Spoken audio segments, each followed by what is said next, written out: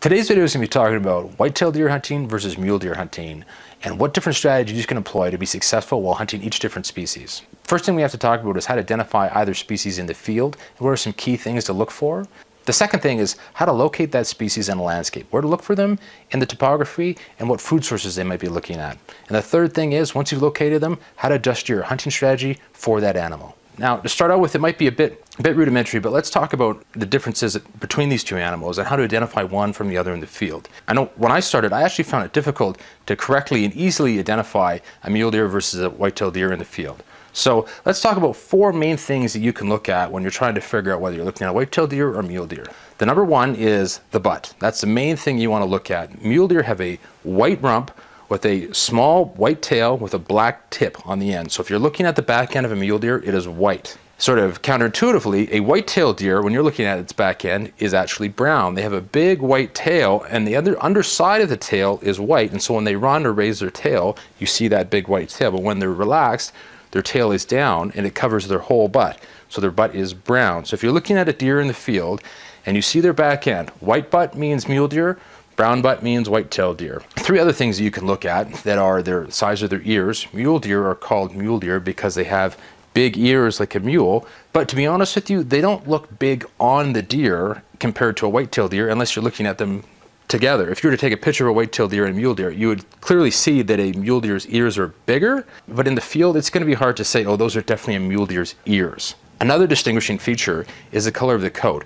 White-tailed deer are more of a brownish red, and mule deer are more of a more of a gray with a bit of black in their coat. So it's mule deer are gray, white-tailed deer are brown. That's sort of the just as simple as it could get. You could characterize it in those two color patterns. Lastly, is that the, the shape of the mule deer versus white-tailed deer antlers are actually quite different. White-tailed deer have one main beam that comes out and then tines that branch off that main beam. So it's sort of one and then one out like this and then tines coming up whereas mule deer have forked beams. The, the beam comes out and then it forks into two four points. And if you're looking at a mature whitetail buck versus a mature mule deer buck, it's very clear to distinguish which antlers are which. But if you're looking at an immature buck, like a spike buck, you're not to be able to tell the difference between the antlers because the antlers haven't fully developed to show their true shape. Or if you're looking at a doe, there's no antlers and you can't tell. So if you're in a position to shoot a deer and you, you need to identify it, I would wait until that deer turns around and gives me a clear look at its butt, and I know whether or not I'm looking at a white butt or a brown butt. Mule deer's territory is basically the western half of North America, and white-tailed deer inhabit that entire that entire portion of the continent as well. So their territory overlaps. And in fact, at my home in my yard, I will have white-tailed deer in the yard on Saturday and mule deer in the yard on Sunday. So they're, they very much overlap and you will see those deer in the same places quite often in certain, in certain landscapes. So it may seem like you don't really have to adjust your hunting strategies based on mule deer versus white-tailed deer, but that's not entirely true. Although you will see them overlapping and at times you will see them in the same crop field, maybe half a kilometer apart, there still can be in various landscapes differences in the way they feed, where they will be in that landscape, and how you should adjust your hunting style depending on which deer that you're after. What I mean by that is that if you have a landscape that is, has varied topography, you might always find the mule deers on, say, an, on a hill eating sagebrush or something like that, and you might always find the white-tailed deer on the river bottoms or creek bottoms or something like that. So they're close by, but they're inhabiting different sort of portions of that landscape. And you want to drill down and figure out what those differences are because that is where you want to hunt. If you have a, if you have a tag for a mule deer, you don't necessarily want to be hunting the river bottoms where only the whitetail are going to be. You want to identify where the mule deer are on that particular patch of habitat. And one of the better ways to do that is identify the food sources that the mule deer are targeting versus what the white-tailed deer are targeting. What complicates this is that of course mule deer and white-tailed deer can eat similar foods, but white-tailed deer are more likely to eat grasses and mule deer are more likely to eat brushes and shrubs and sort of new growth and shoots. Now, if you could do this and you really wanted to hone in on this, I would actually phone a fish and wildlife officer or conservation officer in your particular area and get that person to identify what mule deer eat in that area versus what white-tailed deer eat in that area. And then you can identify those plants and then start to look for them where you're hunting. A good example of this would be on the prairies where white-tailed deer are less likely to eat sagebrush and mule deer do eat quite a bit of sagebrush. So when I'm out scouting, I would be looking for patches of sagebrush if I was out for mule deer and patches of fresh grasses if I was out for white-tailed deer. Once I've identified those food sources, I can start to target my scouting and hunting in those areas based on what they are what they are eating. And if there's no conservation officer that is able to help you in your area, pick up a book on deer for your state or your province, and there will be such a thing, that gives you a list of what foods mule deer or white-tailed deer eat in your state or your province. Then identify those plants and go out and look for those plants where you're going to hunt, and that will help you identify where you're likely to see those deer.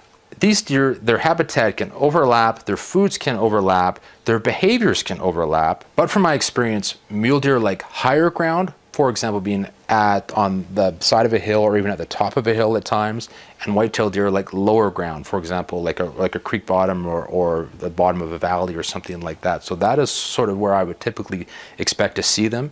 And in fact, where I hunt in the foothills, there's a ranch that I always hunt on, and the mule deer are always on one particular hill, year after year after year after year, right at the top of the hill. And the white-tailed deer are sort of on other hills, but more at the bottom, more closer to the forest, where they're sort of coming out, you know, maybe just 50 meters or something like that from the edge of the forest. And the mule deer are much more open, much farther away from the forest and uh, sort of on, on higher ground. So that is a pretty typical behavior for both deers. And that's not just in the foothills, that would sort of go for anywhere, that the mule deer will be higher in the, in the landscape and white-tailed deer will be lower. And that could, they might only be a kilometer apart, but that's where you'll find them in the, in the, in the topography of the landscape. Other interesting differences between the two species of deer, which I find, is that mule deer typically feed and travel in larger groups.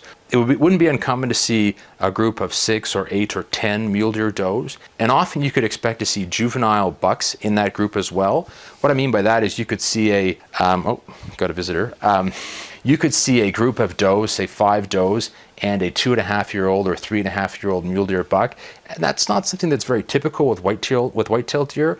More often you see bucks all white-tailed bucks all by themselves and never with a group of does, unless of course it's it's it's the rut and they're trying to breed those does. Mule deer, you will find bigger groups of deer and you will find more bucks in with groups of does. So you can expect while you're mule deer hunting to see more mule deer in a group and less white-tailed deer in a group. Furthermore, mule deer are typically less tame and I actually find easier to hunt. They're more likely to run a short distance and then stop and look back to see what that danger is. And white-tailed deer are more likely to see danger and then run and, and, and they're gone and never, and never really stop to give you that stop and look back to see what that danger is.